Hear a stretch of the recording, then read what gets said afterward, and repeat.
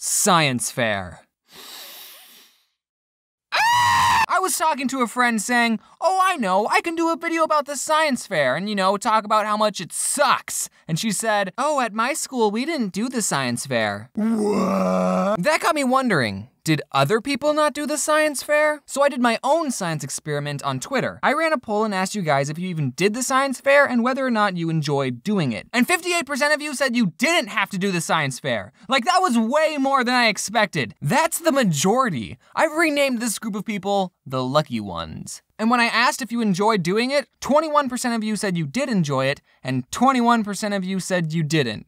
I know Twitter polls aren't the most accurate sources of data, but I think it's safe to say that this is a pretty split issue. Now, I'm in the 21% of people who didn't enjoy the science fair. And don't get me wrong, I love science. Well, okay, that might not be true. I really hated biology and, and chemistry. That was that was just a mess. But physics, Physics was okay. Maybe I don't like science. I just like space and watching these. Bill and Neil, they're my buddies. Except Neil did hurt my feelings one time. We'll get back to that later. All right, so let me briefly go over what the science fair is for you lucky ones who didn't have to deal with that. Apparently, it's a very American thing, right, guys? Mm-hmm.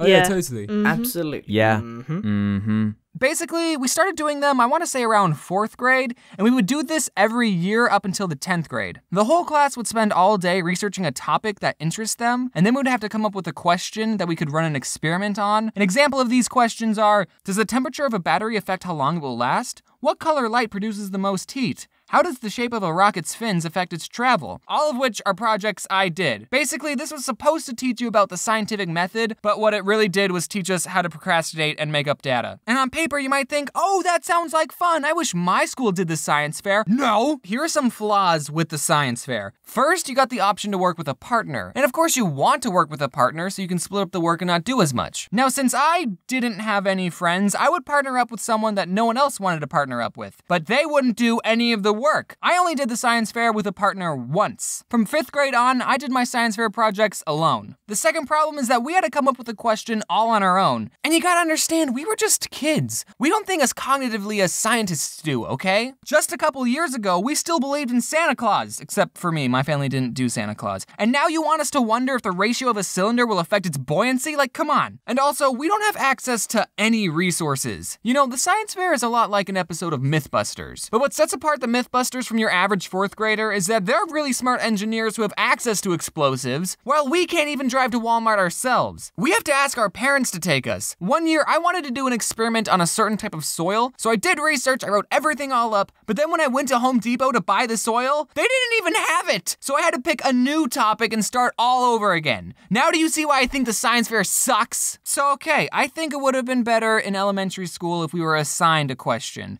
I know the whole point of these things is about discovery, but we're all stupid, okay? I guess if you were anything like me and you chose a crappy question, you'll have a bad science fair. My very first science fair, after all day researching possible questions, me and my partner came up with a question What time of the day is the hottest? Now, I already know the answer to this question, and in fourth grade, I'm sure I already knew the answer to this question too. It's noon. Like, I don't need to run an experiment on that. In fact, I can just go to Google and seriously just type weather, and boom, there's my data right there. No need for an experiment. But the science fair isn't just finding the answer to your question. No, no, no, no, no. First, after you research the topic, you have to write a hypothesis. A hypothesis is basically you guessing what you think the result of the experiment will be, but you don't write it down as I think this will happen. No, you write it like you know what's going to happen. A formula.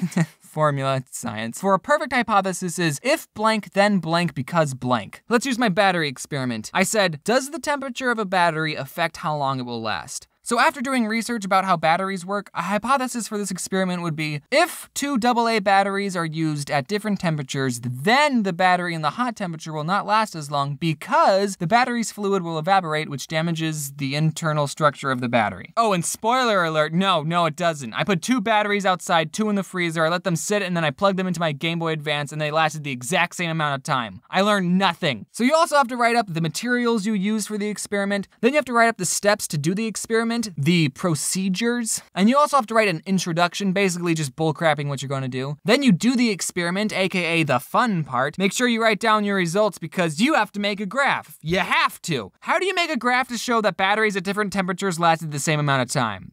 They did.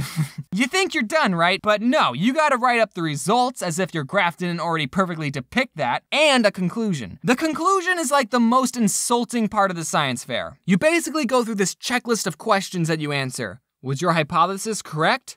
No, my hypothesis was not correct. What mistakes could you have made in your experiment? I don't know. Maybe I took the batteries out of the cold and hot and put them in a room temperature Game Boy, and in a couple of minutes they both went to a room temperature. I don't know. How can others use this information you found? What, do you mean? All the batteries lasted the same. I don't think anyone is going to put their batteries in their freezer to have literally no effect. All right, and then you take everything you wrote, print it out, and then slap it onto a poster board. And everyone, and I mean everyone, would use construction paper as a border around the text to give the poster board a good aesthetic. I think the second most fun part of the science fair was choosing what word art font you would use for your title. Oh, and by the way, the teachers told us to have a creative title to catch people's attention. Like, that was part of the assignment. We got graded on the title. Basically, they were telling us to create puns for a grade. If you're doing a project that's measuring plant growth, Ready, Set, Grow, that was a very popular choice. And then everyone took their poster boards and presented it in front of the whole class. Those were the three most boring days of science ever, except for the day you presented. That was the most stressful day. And then after all of that, everyone in the school put their poster board up in the cafeteria, and you know, then it was fun to walk around and see how other people decorated their poster board, and you could always tell whose mom helped them. So overall, I didn't have a good time. Those 21% of people who did enjoy it, I'm glad you liked it, but me and the other 21% of people think you're huge nerds. And when I asked that Twitter question, I had some people messaging me saying, Yeah, I got third place and all I had was a cup of dirt, ha ha ha ha. And that made me wonder, Wait, it was a competition? So I think the key to a good science fair is to come up with a good question and also do a topic that you actually enjoy. One science fair, I did an experiment on rockets and I had a blast. That would have been a good title. But for another year, I did What Color Light is the Hottest? I just shined a lamp at a thermometer and switched out the bulbs. I know I'll let Neil say what he thinks about that whole project. Okay, red light is warmer than blue light. Interesting discovery, but not exactly revolutionary.